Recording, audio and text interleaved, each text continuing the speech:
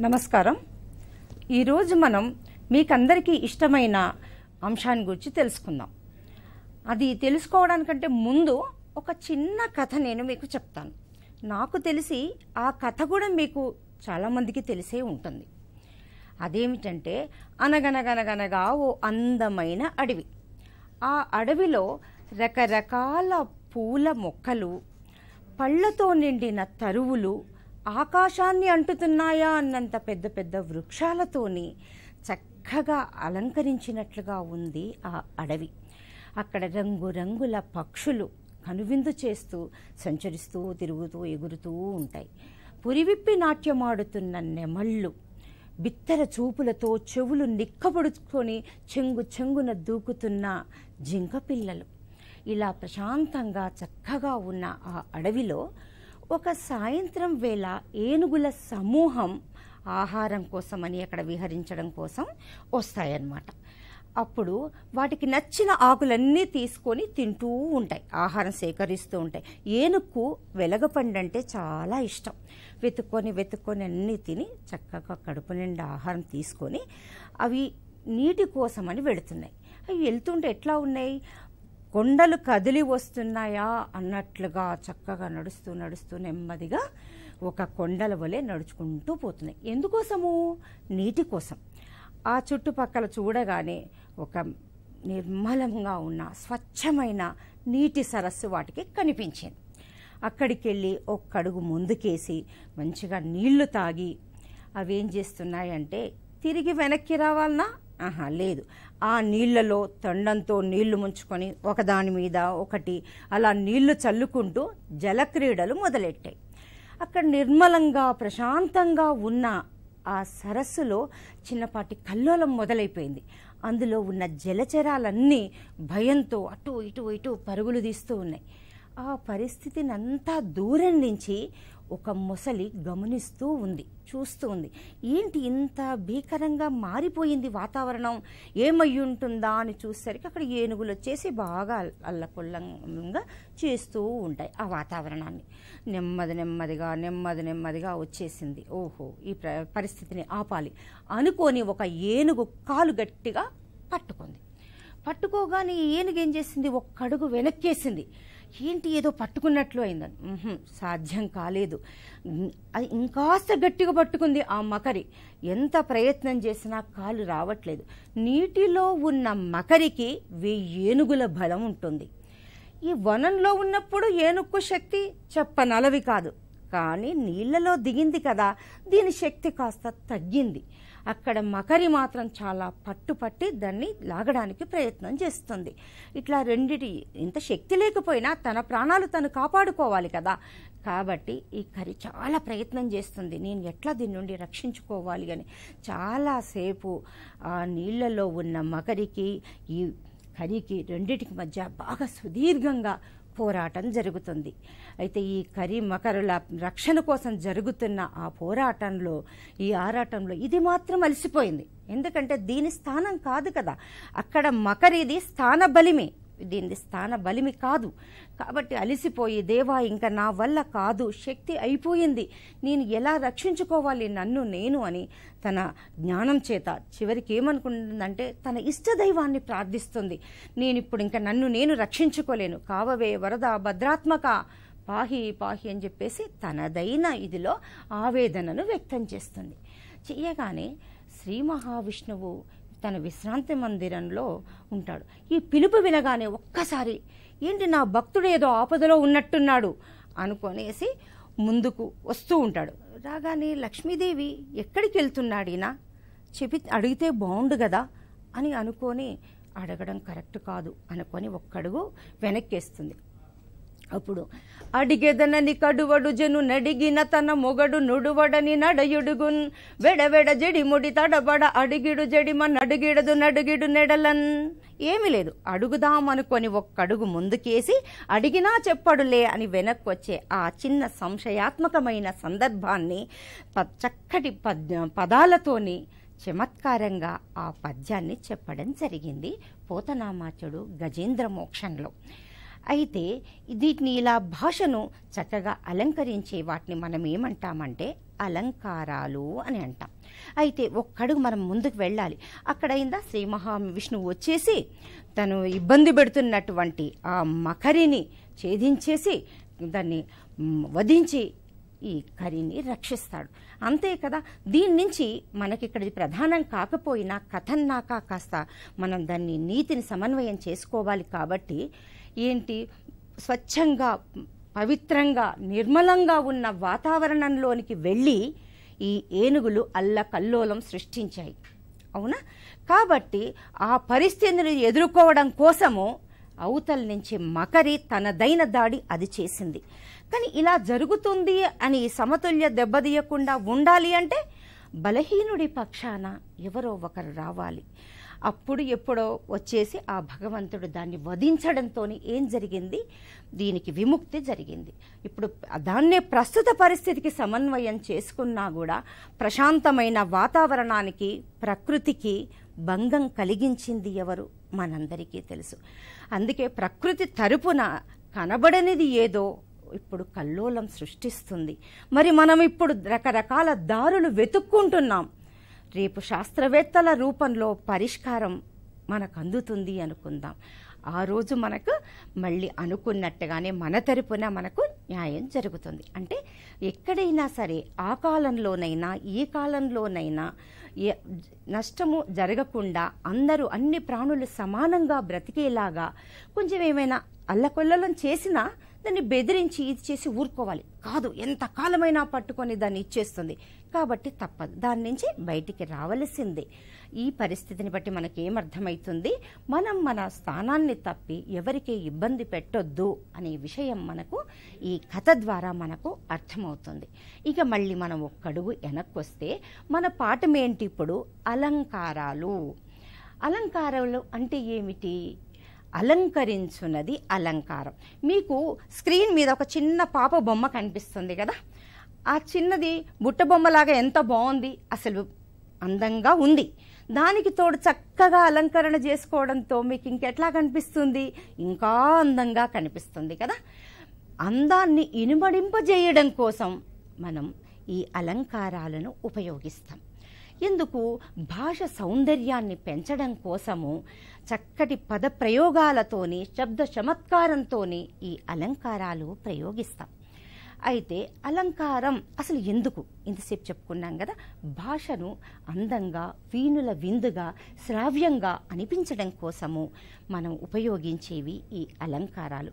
ఒక భాష కోసమే కాదు కదా? చెప్తున్నాను కదా మీకు ఒక పుట్టినరోజు అనుకోండి. ఎంత చక్కగా రెడీ అవుతారు చక్కగా జడ వేసుకొని ఏంటి గొలుసులు వేసుకొని మీదైన తరహాలో మీరు అలంకరించుకుంటారు. కదా? ముస్తాబవుతారు ఒక పండగ అనుకోండి ఇంటికి చక్కగా తోరణం కట్టి ఇంటి ముందు రంగురంగుల ముగ్గులేసి ఏది ఎక్కడ ఉండాలో అక్కడ దాన్ని మనం సర్దుతాం. అంటే దాన్ని ముస్తాబ్ చేస్తాం అలంకరిస్తాం.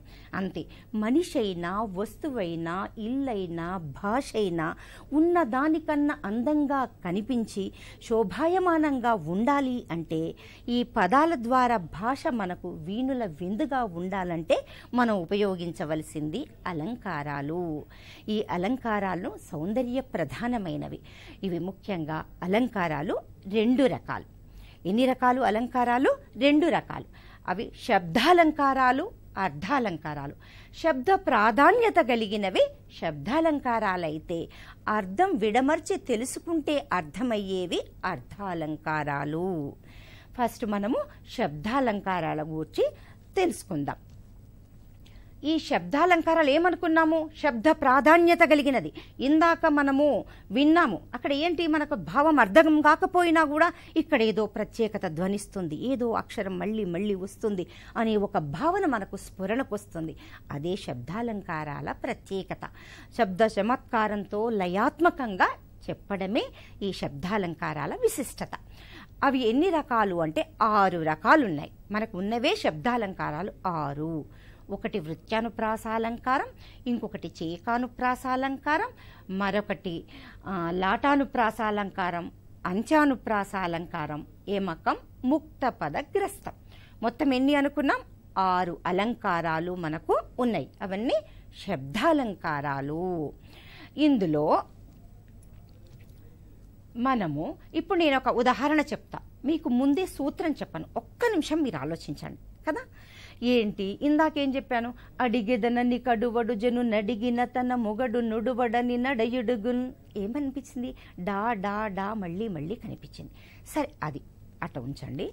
మనం మామూలుగా మాట్లాడేటప్పుడు ఆ పిల్లగాడు పడేటట్టు పోతున్నాడు అనంటే ఆహా ఎవ్వరూ పట్టించుకోరు. బుడతడు తడబడి వడి వడి అడిగిడి నడవగా అన్నారనుకో అందరూ చూస్తారు. మన దృష్టిని ఆకర్షిస్తుంది ఆ పద ప్రయోగం ఎందుకు? అక్కడ ఒకే హల్లు మళ్ళీ మళ్ళీ పునరావృతమయ్యింది. అలా వచ్చే దాన్ని మనం ఏమంటామంటే వృత్యానుప్రాసాలంకారం ఆవృత్తి మళ్ళీ మళ్ళీ రావడం. ఇందాక కూడా అదే చెప్పాను. నేను మీకు కావాలనే అక్కడ చెప్పాను. అడిగిదనని కడువడు జను నడిగిన తన మొగడు నుడువడని నడయుడుగున్ వెడవెడ జడిముడి తడబడ అడిగిడు జడిమ నడిగిడదు నడిగిడు నెడలన్. ఇరవై మూడు డాలతో వృత్యానుప్రాసాలంకారంలో గజేంద్ర మోక్షంలో పోతనామాత్యుడు ప్రయోగించింది ఈ శబ్దాలంకారం మొట్టమొదటిది నృత్యానుప్రాసాలంకారం ఇందాక చెప్పిన చూడు బుడతడు తడబడి వడి వడి అడిగిడి నడవగా డా డా డా డా మళ్ళీ వచ్చింది. ఒక్కటే గుర్తుపెట్టుకోండి. ఒకే హల్లు మళ్ళీ మళ్ళీ పునరావృతమైతే అది వృత్యానుప్రాసాలంకారం.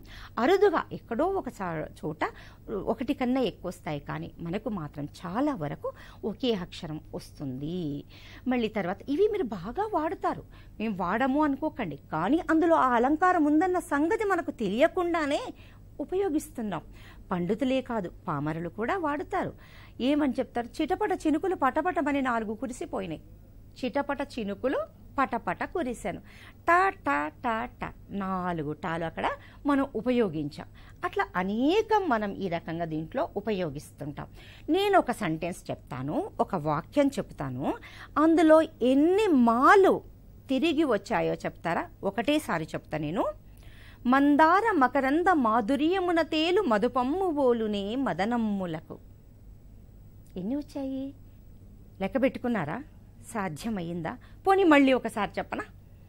మందార మకరంద మాధుర్యమున తేలు మధుపమ్ము బోలునే మదనమ్ములకు. దీంట్లో మా మా అమ్మ ఎన్నిసార్లు వచ్చింది? మొత్తం ఏడు సార్లు అది రిపీట్ అవుతూ ఉంది. కదా? ఏడు అక్కడ మాతో కలిపి ఎనిమిది సార్లు వస్తుంది. అయితే ఇట్లా మీరు చాలా ఉపయోగిస్తారు. కాకి కోకిల అవుతుందా? కాకి కోకిల కదా అవుతుందా? కాకి కాకే కోకిల కోకిలే. కాకి కోకిల కాదు కదా. ఇవన్నీ ఏంటి జన వ్యవహారంలో ఉన్న పదాలే? ఏమైనా పోల్చి చెప్పవలసి వచ్చినప్పుడు ఎవరినన్నా అన్నప్పుడు కాకి కాకే కోకిల కోకిలే. కాకి కోకిల కాదు కదా. ఏమొచ్చింది? మళ్ళీ మళ్ళీ ఆ పదం వృత్తంలాగా ఆవృతమయ్యింది. మనం చెప్పుకున్న సూత్రానికి సరిపోయింది కదా? ఒకే హళ్ళు మళ్ళీ మళ్ళీ పునరావృతమైతే దాన్ని మనం వృత్యానుప్రాసాలంకారం అని అనుకున్నాం. నేను మీకు కాగుణింతంలో ఒక వాక్యం చెబుతాను. దాన్ని దాంట్లో ఎన్ని కాలున్నాయో చెప్పడం కష్టమే కానీ దాంట్లో ఏముందో ప్రత్యేకత అయినా మీరు గమనించండి. జాగ్రత్తగా వింటే కానీ మీకు అర్థమవుతుంది. కాకి కా కా కి కా కాకు కా కా ఏమర్థమైంది? కాగుణింతమే సుమా. నేను వేరే ఏమీ చెప్పలేదు. కాకీక కాకి కాక కుక్కక ఏం లేదు వాక్యం ఉంది. అర్థమైంది కదా? కాకి ఈక కాకికే చెందుతుంది కుక్కకి ఎలా అవుతుంది? ఆ కాగుణింతంలోనే కాకి ఈక కాకికి కాక కుక్కక. ఏం లేదు కా అనే అక్షరం మళ్ళీ మళ్ళీ పునరావృతమయ్యింది. ఇలా రావడాన్ని మనము వృత్యానుప్రాసాలంకారం అని అంటున్నాము. ఇది శబ్దాలంకారాలలో ప్రధానమయ్యింది. ఇంకొకటి నేను చెప్తాను ఉదాహరణ. దీంట్లో ఏముందో ఒక్క నిమిషం మీరు ఆలోచించండి. మళ్ళీ మనం సూత్రంతో సమన్వయం చేసుకుందాం. అవునా? మీకు వంద వందనాలు. మీకు వంద వందనాలు. ఇందాకట్లాగా ఒకే హల్లు ఏమి రావడం లేదు ఇక్కడ. ఏమి ప్రత్యేకంగా వచ్చింది? మీకు వంద వందనాలు. మొదటి వందనేమో నూరు తర్వాత వందనాలేమో నమస్కారం అని అర్థం కదా? వంద వందనాలు. దీంట్లో ఏంటి మనకు ప్రత్యేకంగా కనబడుతుంది అంటే ఈ మొదటి వందకి నూరు అని అదేమో నమస్కారాలని అనుకున్నాం కదా. పక్క పక్కన అర్ధభేదంతో వచ్చాయి. దాన్ని చేకానుప్రాసాలంకారం అని అంటారు. చేక అనే మాటకు అర్థం జంట అని. అర్ధభేదంతో అక్షరాలు పక్క పక్కన వస్తే దాన్ని చేకానుప్రాసాలంకారం అంటారు. చేక అంటే జంట. జంట పదాలు రావాలి పక్క పక్కన రావాలి. అది నియమం దాంట్లో. అర్థమవుతుందా? చేకాను ప్రాసాలంకారలో పక్క పక్కన రావాలి. మీరైతే ఎన్ని అలంకారాలు ఇలా ప్రయోగిస్తారో నేను చెప్తాను ఇందులో ఎక్కడుందో చెప్పండి. జాగ్రత్తగా వింటారు కదా? నీటిలో పడిన తేలు తేలుతుంది. ఏముంది ఇక్కడ? నీటిలో పడిన తేలు తేలుతుంది. మొదటి తేలు మీకు అర్థమైంది. టిక్కుమని కుడుతుందే. తేలు. తేలుతుంది. నీటి మీద తేలుతుంది. రెండు పదాలు వేరే అర్థం వేరే పక్క పక్కన వచ్చాయి. పదాలు ఒకటే. ఏంటి? తేలు తేలు పదం ఒకటే. కానీ అర్థంలో భేదం ఉంది. ఇక్కడ ఏంటి? హల్లుల జంట అవ్యవధానంగా అంటే పక్క పక్కన అర్ధభేదంతో వచ్చినట్లయితే దాన్ని మనము చేకాను ప్రాసాలంకారం అని అంటాము. మీరు బాగా వాడుతుంటారు. ఒక అరటి తొక్క అక్కడ వేశారు పిల్లలు. వేసిన తర్వాత గబాలన పోతున్నాక ఓ తొక్క తొక్కేవు. తొక్క తొక్కబోకు. తొక్క అంటే అరటి తొక్క. తొక్క రాదు. తొక్క తొక్క రాదు. ఎందుకు పడతాము? అమ్మో! అరటి తొక్క మీద కాలు వేస్తే ఏమన్నా ఉందా? ఇది మొదటి తొక్క అంటేనేమో పండు పొట్టు. తొక్క రాదు అని అంటే ఏంటి? నువ్వు దాని మీద నడవకు పడేవు అని జాగ్రత్త చెప్పడం. మనకు తెలియకుండానే ఈ ఇవి మనం ప్రయోగిస్తూనే ఉంటాం భాషలో. కానీ మనకు ఒకసారి తెలిసిన తర్వాత వాటిని ఉపయోగిస్తే ఇంకా మనకు చాలా బాగా అనిపిస్తుంది. ఇంకోటి అమ్మ లోపల పనిచేసుకుంటుంది చిన్న తమ్ముడిని తీసుకొని నువ్వు బయటికి వెళ్తున్నావు. తమ్ముడికి చెప్పు చెప్పులేసుకొని వెళ్ళమని. ఏంటి? తమ్ముడికి చెప్పు చెప్పులు వేసుకొని వెళ్ళమని. ఈ చెప్పులేంటి? నువ్వు చెప్పమని. ఆ పక్కన వచ్చిన చెప్పేంటి? చెప్పులు పాదరక్షలు వేసుకొని వెళ్ళమని. కదా? చాలా విషయాలు. ఏంటి? ఒక అన్న చెల్లికి మాటిచ్చాడు. నీ పుట్టినరోజుకు నాన్న నేను వాచ్ కొనిస్తాను అని. ఆనందంతో తల్లి దగ్గరికి పోయి చెప్తుంది అమ్మ అన్న అన్నమాట నిలబెట్టుకున్నాడు. అన్న నా సోదరుడు అన్నమాట నిలబెట్టుకున్నాడు. అంటే నాకు ఇచ్చిన ప్రామిస్ ఏదైతుందో అది నిలబెట్టుకున్నాడు. నాకు పండక్కు నా పుట్టినరోజుకు వాచ్ ఇస్తానన్నాడుగా ఇచ్చాడు. అన్న సోదరుడు అన్న మాట ఇచ్చిన మాట. రెండు పదాలు అక్షరాలు అవే ఉండి అర్ధభేదంతో పక్క పక్కన వచ్చింది. కాబట్టి దీంట్లో ఏముంది? చేకాను ప్రాసాలంకారం ఉంది. నీ సుందర దరహాసం సుందర అందమైన దరహాసం మోము ధర ధర పక్క పక్కన వచ్చింది కానీ అర్థంలో చాలా భేదం ఉంది. ఇలా చాలా పదాలు మనం గనక గమనించి చూస్తే తెలియనప్పుడంటే ఓకే తెలిసిన తర్వాత ఏంటి? పక్క పక్కన వచ్చాయి. మా పిల్లలు అక్కడ కూర్చొని చదువుకుంటుంటారు. పుస్తకాల కాలు తగిలించకు. పుస్తకాలు కాలు తగిలించకు. పుస్తకాలకు కాలు తగిలించొద్దు. అంటే జాగ్రత్తగా ఉండమని. పక్క పక్కన ఆ పదాలు వచ్చినప్పుడు మనము వాటిని ఎక్కడ వస్తుంది అలంకారం అనేది కూడా మనము జాగ్రత్తగా చూడొచ్చు. ఇంకోటి మొదటిది ఏంటి ఒకే హల్లు మళ్ళీ మళ్ళీ వస్తే వృత్యానుప్రాస అనుకున్నాం రెండు హల్లులు అర్ధభేదంతో పక్క పక్కన వస్తే చేకానుప్రాస అనుకున్నాం ఇక మూడవది ఏంటి? నేను దీని సూత్రం ఏమి చెప్పను. మీరు దీన్ని బట్టి చెప్పాలి. ఏంటి? ఒక ఉదాహరణ చెప్తా. మానవత్వం గల మనిషి మనిషి. ఏంటి? పక్క పక్కన వచ్చాయి. మనిషి మనిషి. ఏమన్నా తేడా ఉందా? రెండు ఒకటే. కాకపోతే ఒకే అర్థం వచ్చే పదాలు తాత్పర్య భేదంతో వచ్చినట్లయితే అది లాటానుప్రాస అలంకారం. తాత్పర్య భేదం అంటే రెండు. మీకు ఏంటి? మానవత్వం గల మనిషి మనిషి.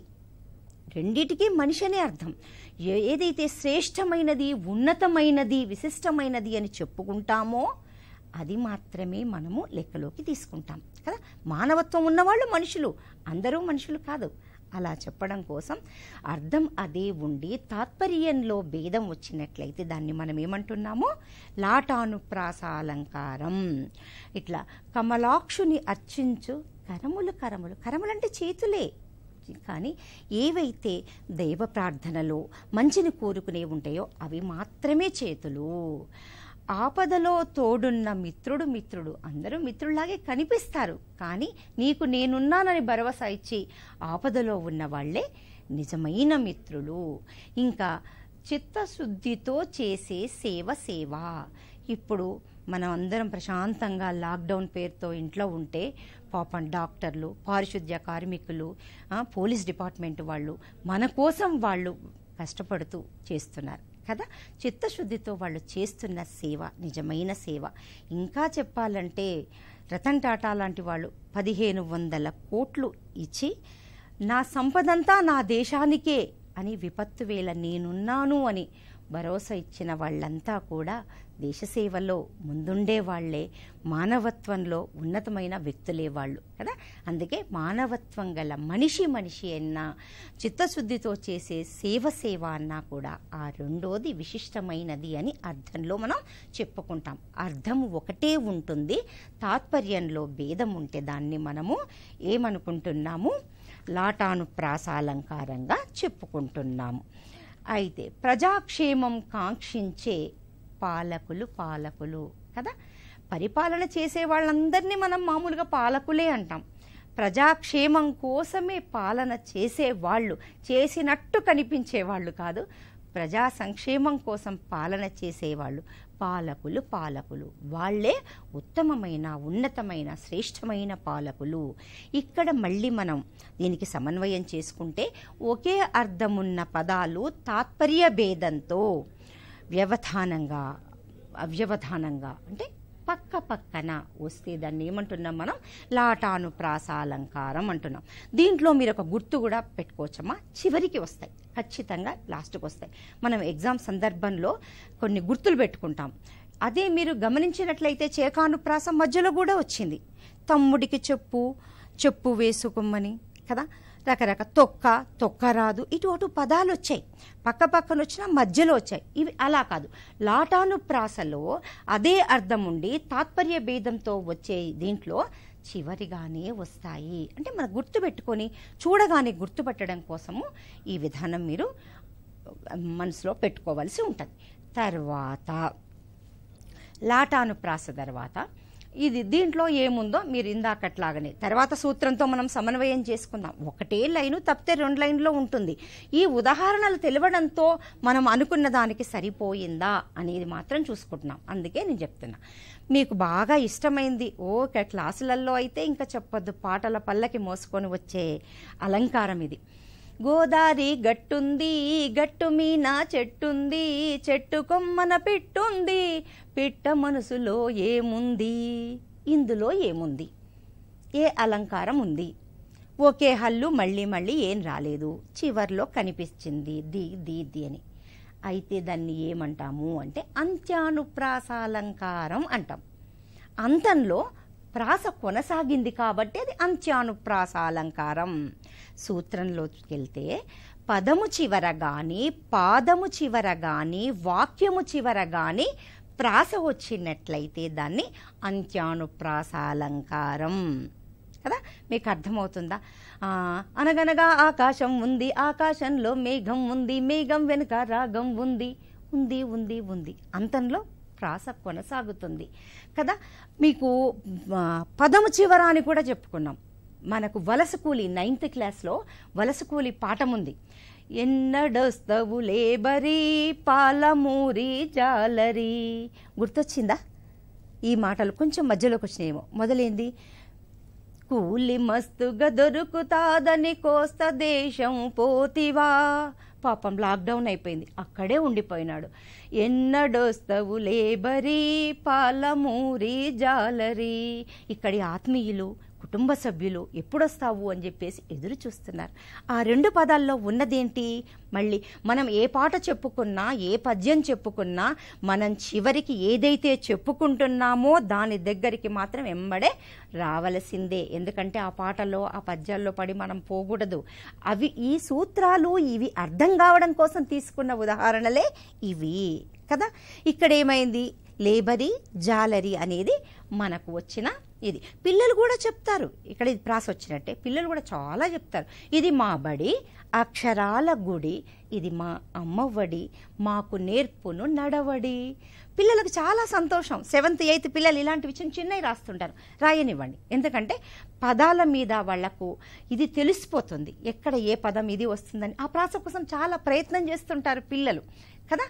మనం చాలా పదాలు చూడొచ్చు. తలుపు గొళ్ళెం హారతి పళ్ళెం గుర్రపు కళ్ళెం కాదేది కవిత కనర్హం. కదా? ఇవేంటి? ఇవన్నీ కూడా అంతంలో కళ్ళెం గొళ్ళెం పళ్ళెం అంచనలో ప్రాస వచ్చింది. ఏమైతే మీరు అన్నీ మూ మాతోనే వస్తున్నాయి అనుకోకండి. ఇవి కాస్త ఎక్కువ వస్తాయి.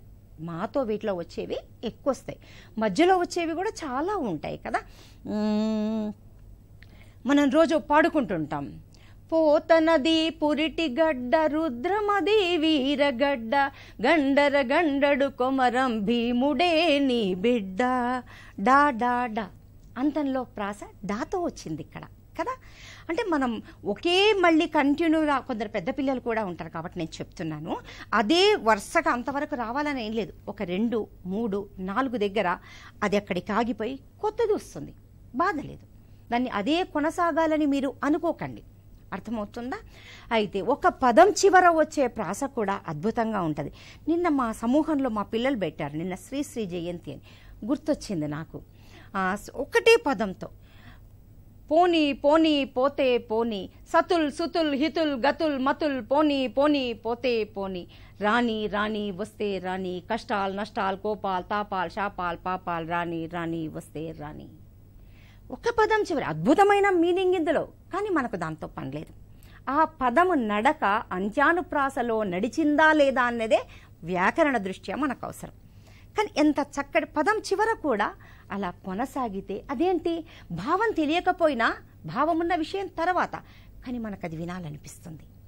చో- గొప్ప వేదాంతం దాంట్లో చెప్పబడింది. కానీ మనకు వీణుల విందుగా అనిపిస్తుంది. కదా ఇలా అంచానుప్రాస మీరు వినండి ఇప్పటి నుంచి. అవునా? ఇక్కడ ఈ క్లాసు వినిపోయారు. ఫస్ట్లో మన పాప చెప్తుంది ఇలా చెప్పగానే ఇంటికి పోగానే వాళ్ళ అక్క కూతురు వాళ్ళ పాపకి ఉయ్యాల ఊపుతుందంట. ఊపుతుండగానే ఇమ్మాయి లాలి లాలి లాలి. హ? ఆరు సార్లు వచ్చింది. లాలి లాలి లాలి. ఓ మేడం ఏం చెప్పారు? వృత్యానుప్రాస అలంకారం చెప్పారు కదా దీంట్లో వచ్చేసింది అనేసి అమ్మాయికి కెంబడి స్ఫురించింది. ఇట్లా మీరు వృత్యానుప్రాస కానీ లాటానుప్రాస కానీ ఈ అంత్యానుప్రాసలో కానీ మనకు ఎక్కడెక్కడ మనకు వస్తున్నాయి అంతంలో ప్రాస అనే దాన్ని మీరు బాగా దృష్టిలో పెట్టుకోవాలి. మనం ఎప్పుడు పాడుకుంటాం కదా స్వారవంతం? బుద్ధుని జ్ఞానబోధలం శ్రవణుల తేజోదీప్తులం మూ మూ. కదా? సభమంగళం మాతో మనం పాడుతున్న ప్రతి పాటలో కూడా ఏమైనా ప్రాస ఉందా? ఎలాగో వింటున్నాం. వింటున్నప్పుడు దాంట్లో ఆ పదాలలో ఆ శృతిలో ఏదైనా భావం వినండి. అది ఓకే. భావాన్ని కూడా మీరు పట్టించుకుంటే మంచిది. లేకపోతే అసలు అది వినండి మీకు తెలిసిపోతుంది. కదా? అట్లా చాలా ఉంటాయి. మన సాంఘిక సంక్షేమంది. మేము చాలా ఇష్టంగా పాడుకునే పాట. సాంఘిక సంక్షేమం మా ధ్యేయం సర్వ సమానత్వం మా ధర్మం క్రమశిక్షణ సంరక్షణ ఉన్నత మా లక్ష్యం ఉన్నత మా లక్ష్యం. మన సాంఘిక సంక్షేమం. దాంట్లో మూడు సాంఘిక సంక్షేమం మా ధ్యేయం తర్వాత ధర్మం తర్వాత లక్ష్యం. ఈ మూడు కూడా అంతా అంతంలో ప్రాస వచ్చింది. అంత్యానుప్రాస. ఏం చెప్పుకున్నాం మనం?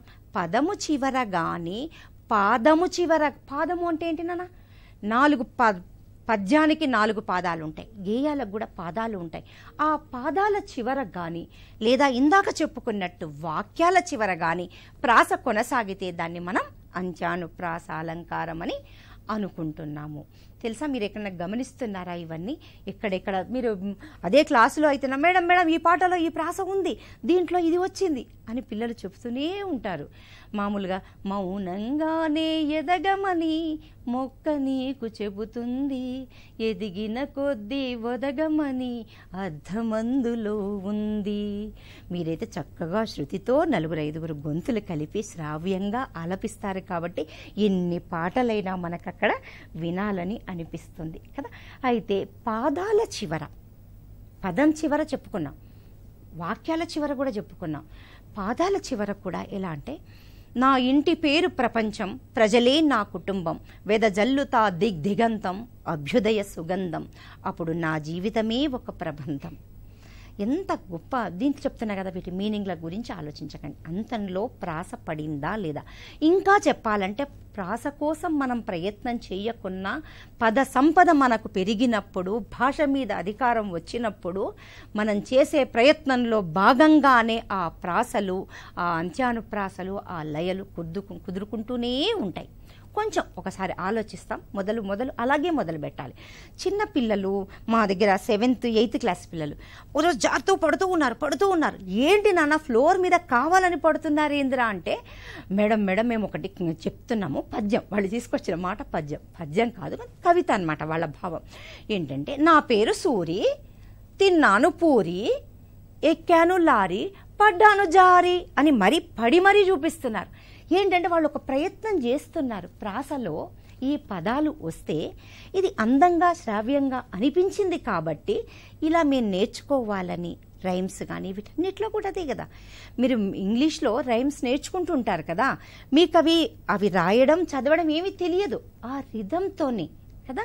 చెబ్బీ చీక్స్ డింపుల్ చిన్ కదా. Rosy lips teeth within కదా. ఎప్పుడో చదివాం.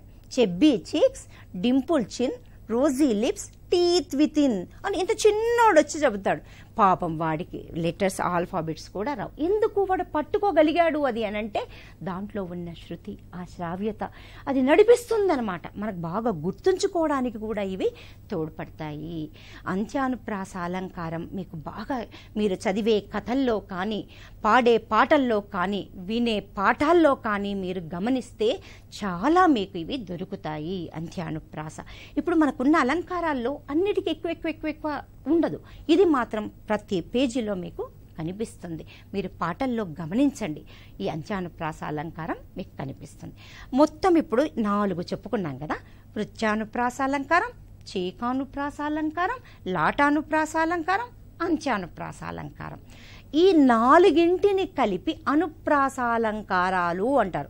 అమ్మ మేడం ఇందాకనేమో శబ్దాలంకారాలు అన్నారు ఇప్పుడు మళ్ళీ ఏంటి? అనుప్రాసాలంకారాలు అంటారు ఏమీ లేదు. వృత్యాను చేకాను లాటాను అంత్యాను. నకారంతో కూడి అనుప్రాసతో వచ్చాయి కాబట్టి అనుప్రాసాలంకారాలు అంటారు వీటిని. ఈ శబ్దాలంకారాలు ఈ మొదటి నాలుగింటిని అనుప్రాసాలంకారాలుగా చెప్పుకుంటారు. అర్థమైంది కదా? పదం చివర కానీ పాదం చివర కానీ వాక్యం చివర కానీ ప్రాస కొనసాగితే దాన్ని మనం అంత్యానుప్రాస అలంకారంగా చెప్పుకోవచ్చు. తర్వాతది నేను చెప్తాను. దీంట్లో మీకు ఏదో ఒక ప్రత్యేకత. మీకు ఎందుకంటే గమనించి చూడడానికి. ముందు నేను సూత్రం చెప్పాననుకో ఏమీ లేదు. అక్కడ ఉన్నది రాసుకునే ప్రయత్నం చేస్తారు. ముందు మీకు ఉదాహరణ చెప్పాననుకో ఇందులో ఏముంది అని ఒక్క నిమిషమన్నా మీరు ఆలోచిస్తారు అని. చూడండి. జాగ్రత్తగా వినండి. ఓ హారిక జోహారిక హారిక. హారిక అనేదేంటి పేరు. జోహారిక అంటే జోహార్లు నీకు అని చెప్పడం. ఇక్కడ ఏంటి ఏం తెలుస్తుంది? మీకు ఏం అర్థమవుతుంది అక్షర సముదాయం అర్ధభేదంతో వచ్చినట్లయితే ఏంటి? వ్యవధానంగా అంటే పక్క పక్కన కాకుండా మధ్యలో స్థలం ఉంది. చూడండి అదే చేకాను ప్రాసకైతే పక్క పక్కన వచ్చాయి. అవునా? ఏంటి? తొక్క తొక్క రాదు. పక్కనే వచ్చింది. మళ్ళీ దా లాటానుప్రాసలో కూడా సేవ సేవ కరములు కరములు అని వచ్చాయి. ఇక్కడ కొంచెమే తేడా. ఇది అక్షర సముదాయం అర్ధభేదంతో వ్యవధానంగా మధ్యలో వేరే పదాలు కూడా రావాలి. కంపల్సరీ. పక్క పక్కన ఉండడానికి వీల్లేదు. దీని నియమం ఇది. దీని రూల్. కాబట్టి దాన్ని మనం ఫాలో కావాలి. అయితే మీకు అర్థమైపోతుంది. అలా చేసిర్రనుకో పండితులు సభల్లో అంటుంటారు బా మంచి యమకం పడింది ఇక్కడ అంటారు. ఆ ఎమకం ఏంటి? ఒక నిమిషం అంటే ఓహో ఇలా వచ్చింది కదా. ప్రతి చర్యకు తప్పదు ప్రతి చర్య న్యూటన్స్ థర్డ్ లా ప్రతి చర్యకు మనం చేసే ప్రతి పనికి ప్రతి చర్య తప్పదు. అంటే ఇదేమి రివెంజ్ అని అట్లా అని అనుకోకండి. మనం ఏం చేసినా దానికి ఒక ప్రతి చర్య అనేది ఉంటుంది అని చెప్పడం ఇక్కడ. అర్థమవుతుందా? ఎట్లా?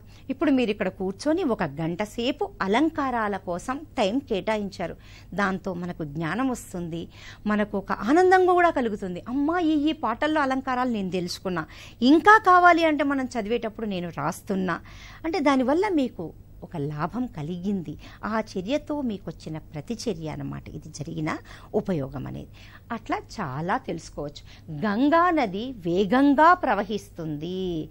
ఇప్పుడు పొల్యూషన్ లేకుండా స్వచ్ఛంగా మారి చక్కగా వేగంగా అన్ని అడ్డంకులు తొలగించుకొని ప్రవహిస్తూ ఉంది. గంగా వేగంగా ప్రవహిస్తుంది. మొదటి గంగ నది రెండవ వేగంగాలోనిది ఏమిటి ప్రవహించడం. అలా చెప్పడాన్ని మనం ఏమంటున్నాం? యమకాలంకారం. మనసు భద్రమయ్యే మనసు భద్రకు. ఏంటి? మనసు మనసు వచ్చాయి. ఏంటి? మనసు భద్రమయ్యే మనసు భద్రకు. ఏమన్నా అర్థమవుతుందా? కొంచెం. ఎందుకంటే మీనింగ్ తెలుసుకుంటే వివరంగా వద్దు.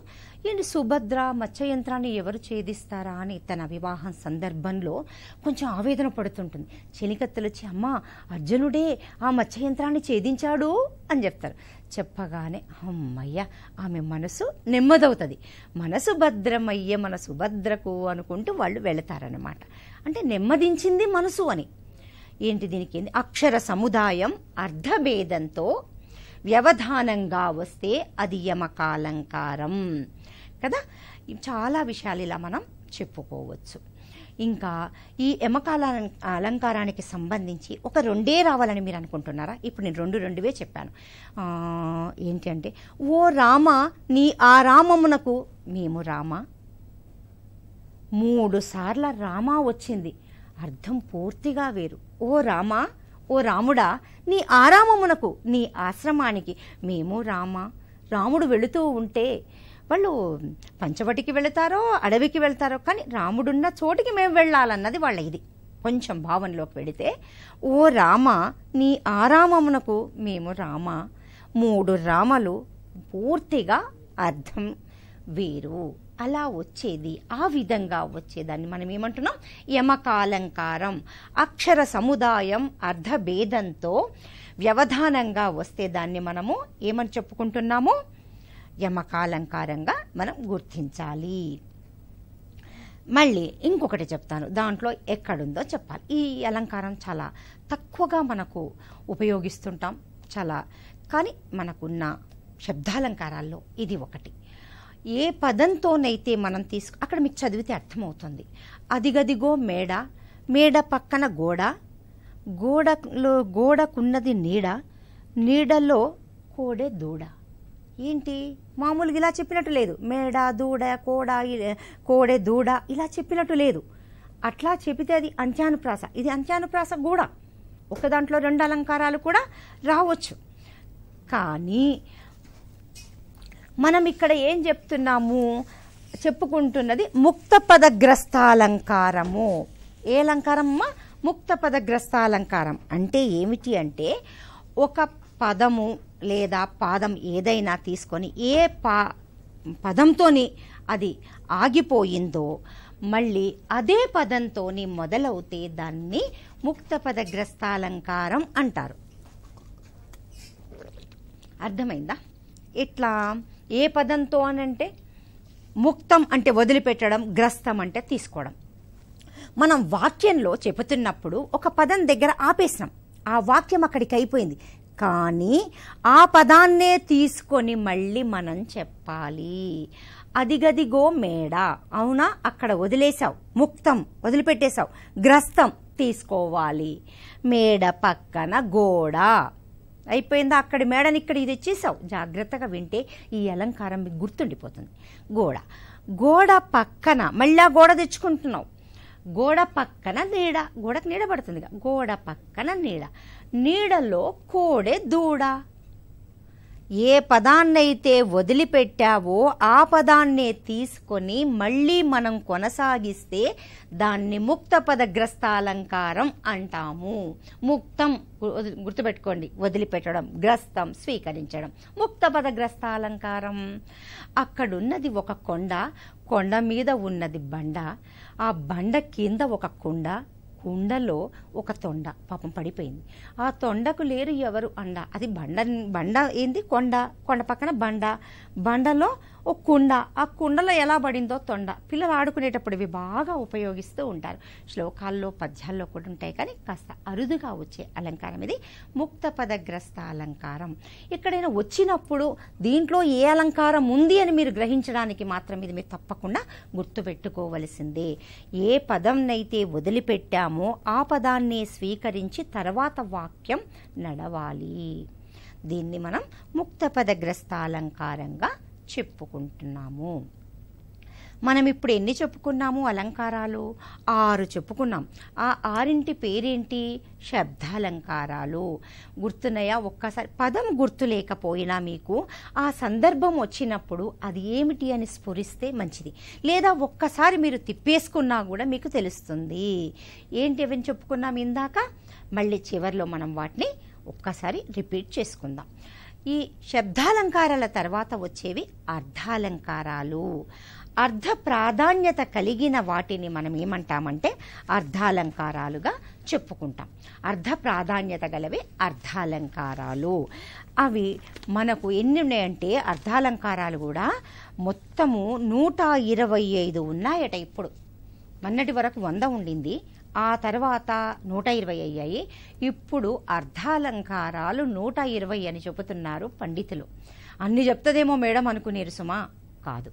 మన సిలబస్ దృష్ట్యా మనం బాగా ఉపయోగిస్తున్నవి ఆరు అలంకారాలు. శబ్దాలంకారాలు ఆరు చెప్పుకున్నట్టే అర్ధాలంకారాలని కూడా మనం ఒక ఆరింటిని చెప్పుకుందాం.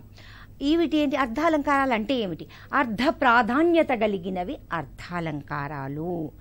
అర్థం విడమరిచి చెబితే కానీ మనకది అర్థమవుతుంది. అందుకే వీటిని అర్థాలంకారాలు అని అన్నారు. ఇవి ఎన్ని మొత్తం? ఆరు ఇక్కడ చెప్పుకుంటున్నాం మనం. కదా? ఉపమా రూపక ఉత్ప్రేక్ష స్వభావోక్తి అతిశయోక్తి శ్లేష. ఇలా మొత్తం మనము ఏడు అలంకారాలను చెప్పుకుందాం. సరేనా? అసలు అలంకారాల్లో మనకు అలంకారం అనగానే గుర్తొచ్చేది ఏంటిది ఉపమాలంకారం. అలంకారం అంటేనే అసలు శబ్దాలంకారాల కన్నా కూడా అధిక ప్రాధాన్యత ఇచ్చి అందులో ఉపమాలంకారాన్ని చాలా మనం ఉపయోగిస్తూ ఉంటాం. కదా? అయితే ఉపమా అనే మాట గుర్తుపెట్టుకోండి పోలిక. ఉపమా అనే మాటకు అర్థం ఏంటి పోలిక. ఉపమా అలంకారం అక్కడి నుంచే వచ్చింది. పోలిక. పోలికను చెప్పునది ఉపమాలంకారము. పోలికను చెప్పినది ఉపమాలంకారం. అయితే ఒక వస్తువును మరొక వస్తువుతో పోల్చి చెప్తే దాన్ని ఏమంటారంటే ఉపమాలంకారం అంటారు. ఏంటి? ఉదాహరణ ఆమె ముఖము చంద్రబింబము వలె ప్రకాశవంతంగా ఉంది.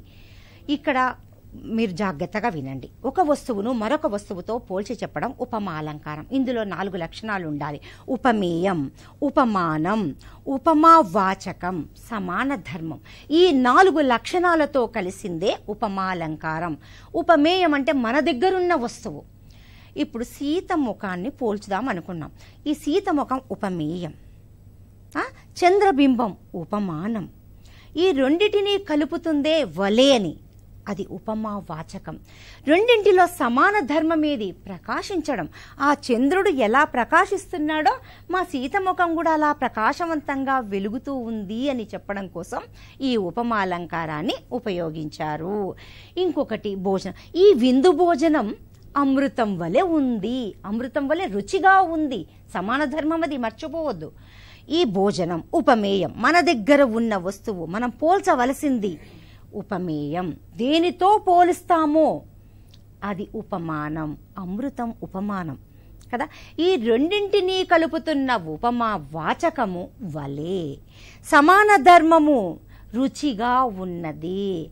ఈ విందు భోజనము అమృతము వలె రుచిగా ఉన్నది. మామూలుగా పామరులు కూడా ఉపయోగిస్తారు. ఈ విందు భోజనం అమృతంలాగా ఉంది. లాగా వలే లా ఇవన్నీ ఉపమాన ఉపమాలంకారాలలో ఉపయోగించే ఉపమా వాచకాలు మనిషికి హృదయం ఎంత ముఖ్యమో వీటిని కలుపుతున్న ఈ ఉపమా వాచకాలు అంత ముఖ్యం. అది లేకపోతే అర్థం లేదు చూడండి. ఈ భోజనం ఈ విందు భోజనం అమృతము రుచిగా ఉన్నది వలే లేకపోతే ఏమైపోయింది? అసలు అక్కడ అర్థమే లేదు. మనం తెలిసిన తర్వాత తెలియక ముందు కూడా మనం ఇలాగే ఉపయోగించాం.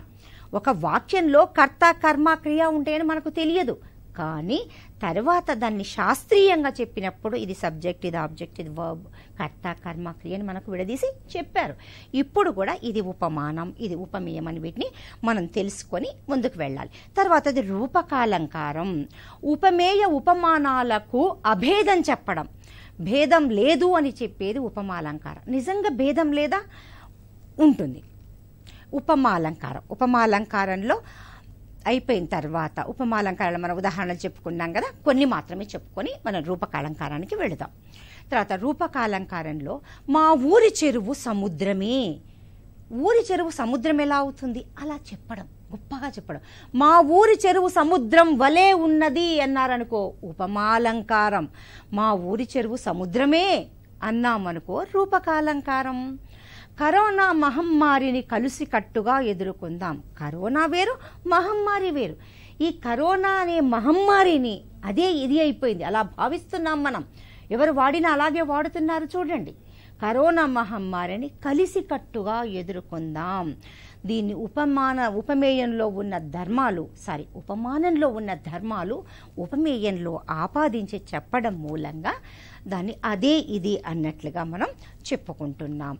తర్వాతది ఉత్ప్రేక్ష అలంకారం ఉత్ప్రేక్ష అంటే ఊహ ఊహించి చెప్పడం. ధర్మ సామ్యం చేత ఊహిస్తున్నామన్నమాట. ఆ ఏనుగు నడిచే కొండ అన్నట్లు ఉంది.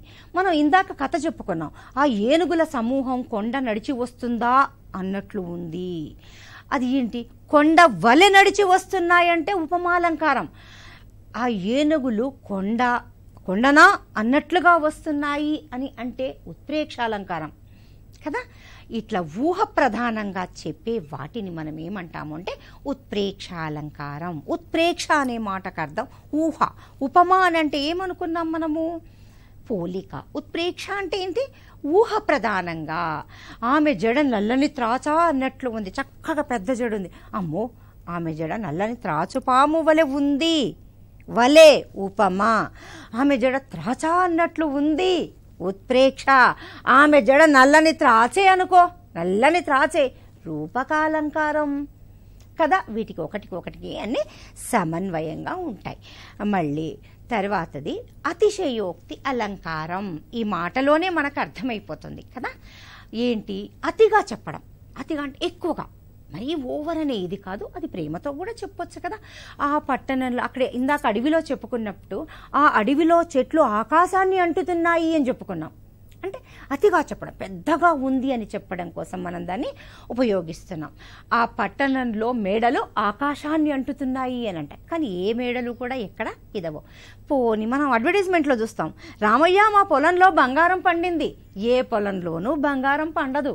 కాకపోతే పండిన పంటను బంగారంతో పోలుస్తున్నారు. బంగారం అంత విలువైందిగా చెబుతున్నారు. అంటే ఎక్కువ చేసి చెప్పడం. మన అమ్మ అంటుంది మనల్ని నా కొడుకు బంగారు కొండ వాడు కొండనా? బంగారమా? కాదు కదా. అంటే బంగారంతో బిడ్డను పోల్చుకొని తల్లి మురిసిపోతుంది. మా తమ్ముడు తాటి చెట్టు పొడుగున్నాడు. ఇక్కడ ఎవరైనా తాటి చాలా పొడుగున్నాడని చెప్పడం కోసం దీన్ని చెప్తాను ఇవి నేను రాసుకుంటున్నప్పుడు పాట వస్తుంది. నీలి నీలి ఆకాశం ఇద్దామనుకున్నా మబ్బులు నిన్నే కమ్మేస్తాయని మానేస్తున్నా. పాపం మబ్బులు కమ్మేయకపోతే ఆకాశం ఇచ్చేసేవాడంట. కదా? అతిగా చెప్పడం. అంటే ఎక్కువ ప్రేమతో ఎక్కువ ఇదితో చెప్పడం అన్నమాట అయితే దీన్ని ఏమంటాం మనం? అతిశయోక్తి అలంకారం. ఉన్నదానికన్నా ఎక్కువ చెప్పడం. గోరంతలు కొండంతలుగా చేసి చెబుతున్నారు అని కూడా అంటుంటారు కదా? దాన్ని మనం ఏమంటే అతిశయోక్తి అలంకారంగా చెప్పుకుంటాం. తర్వాతది స్వభావోక్తి. అంటే ఉన్నది ఉన్నట్లుగా చెప్పడం. జాతి గుణ క్రియాదుల చేత వస్తువు యొక్క స్వరూప స్వభావాల్ని ఉన్నది ఉన్నట్లుగా వివరించడం. ఆ లేళ్ళు బెదురు చూపులతో చెంగు చెంగున చెవులు నిగ్గడించి దూకుతున్నాయి. మనం చెప్పాం అక్కడ అడవిలో ఉన్న లేళ్ళు ఎలా ఉన్నాయంటే చెవులకు ఎప్పుడైనా మీరు చూడండి జింకలు ఎక్కడైనా కనిపించినా కూడా ఆ చెవులు ఎప్పుడు ఇలా ఉంటాయి. కన్నులు ఇలా ఇలా ఇలా తిరుగుతుంటాయి. చెంగు చెంగున దూకుతుంటాయి. ఎప్పుడు ఒక్క నిమిషం అవి కుదురుగా ఉండవు. వాటి స్వభావం ఆ జాతి లక్షణం అది. అవి స్వభావోక్తి అలంకారం. తర్వాత కోయిల మధురంగా ఆలపిస్తుంది కోయిల అది దాని స్వభావం అది ఆలపిస్తుంది. ఇది స్వభావోక్తి. ఏదైనా విషయాన్ని ఉన్నది ఉన్నట్లుగా చెప్పడాన్ని మనం ఏమంటున్నాము స్వభావోక్తి అని అంటున్నాము. తర్వాతది శ్లేషాలంకారం. శ్లేష అంటే నానా రకాల అర్థాలతో నానా అర్థాలతో వచ్చేది శ్లేషాలంకారం. నేను మీకు ఒకటి చెప్తాను. మానవలోకం ఇది మానవలోకం. ఇందులో ఏముంది? చూడండి.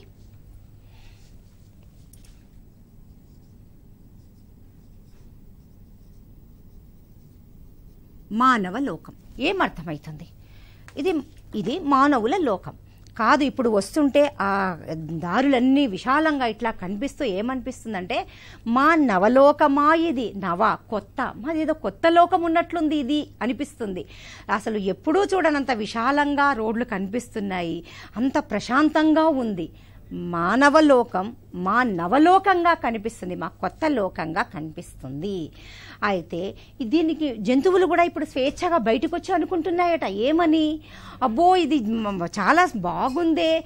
ఇంతకాలం తిరిగిన ఈ మనుషులంతా ఏమయ్యారు? ఓహో వాళ్ళు గృహాల్లో బందీ అయ్యారా? మనం గృహల్లో గుహాల్లోంచి బయటికి రావచ్చు గుహల్లోంచి వచ్చి సంచరించవచ్చు అని అవి అనుకుంటున్నాయి. మానవ లోకం అంటే మనుషుల లోకం మా నవలోకం అంటే మా కొత్త లోకం. ఈ తమ్ముడు అన్న కలిసి అమ్మమ్మ వాళ్ళ ఇంటికి వెళ్తున్నారట. అరే తమ్ముడు శివ ఏడిరా? అందంట అమ్మమ్మ. తమ్ముడు శివ ఏడి అంటే అమ్మ అమ్మమ్మ శివరాత్రికి వస్తానన్నాడు. అదేంటిరా? శివరాత్రికి రావడం ఏంటి మననే కదా పోయింది. కాదమ్మమ్మ శివ రాత్రికి వస్తానన్నాడు అంతే అవే పదాలు. శివ రాత్రికి వస్తానన్నాడు. శివ అనే అబ్బాయి రాత్రికి వస్తానన్నాడని వాడు చెబుతున్నాడు. ఈ అమ్మమ్మ కావాలని అంటుంది అమ్మమ్మ. శివరాత్రికి రావడం ఏంట్రా? శివరాత్రి ఎప్పుడుంది? అర్థమైంది. ఒకే పదం వేరు వేరు అర్థాలనిస్తే దాన్ని మనం శ్లేషాలంకారం అంటారు. ఇంకొక చిన్నది చెప్తాను. ఒక ఊళ్ళో ఇద్దరు చాలా తెలివైన వాళ్ళు. ఉన్నారు. వాళ్ళు మిత్రులు కారు శత్రువులు కారు కానీ ఇద్దరికి అంతగా పొసగదు. అయితే అతను ఒక పాన్ డబ్బా పెట్టుకొని పని చేసుకుంటూ ఉంటాడు. మంచిగా తెలివైన వాడు. అయితే ఇతను ఓ ఇంకో అతను పోయాడు. పోయి ఒక పాన్ గట్టు అన్నాడు. పాన్ కట్టాలంటే మామూలుగా ఏంటి? ఆకులు పెట్టేసి సున్నం కడుతూ ఇలా రాస్తూ ఉంటాడు.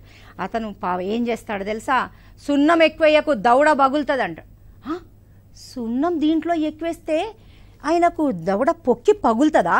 లేకపోతే ఎక్కువేస్తే నా దవడ పగలగొడతాడా? అమ్మా అని కట్టినంతసేపు ఆలోచిస్తుంటాడు.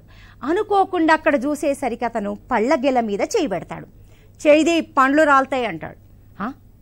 చెయ్యి తీయకపోతే వాడి పళ్ళు ఆ పళ్ళు రాలుతాయా? చెయ్యి పెట్టినందుకు అరటి పళ్ళు కింద రాలుతాయా? ఒకటే అర్థం. చెయ్యి దియ్యి పళ్ళు రాలుతాయి. కానీ ఇలా నానా అర్థాలతో చెప్పుకునే దాన్ని మనం శ్లేష అంటాం. ఇంకొకటి పాపం. ఒక అమ్మాయి ఎప్పుడు వాళ్ళ ఆయన నువ్వు నీవంటే ఇష్టం నీ వంటే ఇష్టం నీ వంటే నాకు ఇష్టం అంటున్నాడు. నీవంటే నాకు ఇష్టం ఎప్పుడు నా వంటే నా మీకు ఇష్టం మీరు అప్పుడు ఏమని చెప్పారు? నేనంటే మీకు ఇష్టం అన్నారుగా. నీ వంటే నాకు ఇష్టం అంటే నేనంటే మీకు ఇష్టమేమో అనుకున్నా. మీరు నా వంట ఇష్టం అనుకున్నారా? నీ వంటే నాకిష్టం. నువ్వు నీ వంటే నాకిష్టం. అక్షరాలు పదాలు అవే వేరు వేరు అర్థాలతో వస్తే అది శ్లేషాలంకారం. అబ్బో చాలా మాట్లాడుకుంటారు పిల్లలు. కొత్త కొత్త పదాలు సృష్టిస్తారు. ఇలా మనం అలంకారాలను ఆరింటిని చెప్పుకోవచ్చు. అయితే మీకు ఇంటి పని ఇస్తున్నాను. సినీ గీతాల్లో ఉన్న వివిధ అలంకారాలను గుర్తించండి. మీకు ఎంత ఇష్టమో ఇంకా మొదలు పెట్టాలి. కనీసం వందకు తక్కువ కాకుండా మీరు రాసుకోవాలి. మరికొన్ని శబ్దాలంకారాలకు ఉదాహరణలు రాయండి. నగారా మోగిందా నయగారా దుమికిందా? నగర గీతం టెన్త్ క్లాస్ వాళ్ళకి ఉంది. అందులో ఏ అలంకారం ఉంది? వానజాన చినుకు పూలు చల్లింది. వానజాన చినుకు పూలు చల్లింది. అందులో ఏ మా ఊరి చెరువు సముద్రం అయ్యింది అని ఎప్పుడు చెప్పుకున్నామే? గుర్తు చేసుకోండి. చేసుకుంటే చేసుకుంటే మీకు ఇది గుర్తొస్తుంది. ఈ రకంగా మనము శబ్దాలంకాలు శబ్దాలంకారాలు అర్ధాలంకారాలు అవి ఆరు ఇవి ఆరు చదువుకున్నాం. ఈ అలంకారాలు తెలుగు భాషామ తల్లికి కవులు గాయకులు పండితులు పామరులు అలంకరించిన శోభాయమానమైన కానుకలు ఆభరణాలు ఈ అలంకారాలు. ఈ అలంకార ప్రయోగం మూలంగా భాష వీణుల విందుగా శోభాయమానంగా మనోరంజకంగా అనిపిస్తుంది. ఈ రోజు నుంచి మీరు పాటల్లోనూ పాఠాల్లోనూ కవితల్లోనూ కథల్లోనూ ఎక్కడ ఏది చదివినా అందులో ఏ అలంకారం ఉంది అని దాని యొక్క ఉదాహరణలు అన్వేషిస్తారని కొత్త కొత్తవి తెలుసుకుంటారని మీరు మంచిగా వర్క్ చేస్తారని నేను అనుకుంటున్నాను. మీరందరూ ఇంట్లోనే సేఫ్గా ఉండండి. వచ్చేప్పుడు మంచిగా వర్క్ చేసుకొని రండి. ధన్యవాదాలు.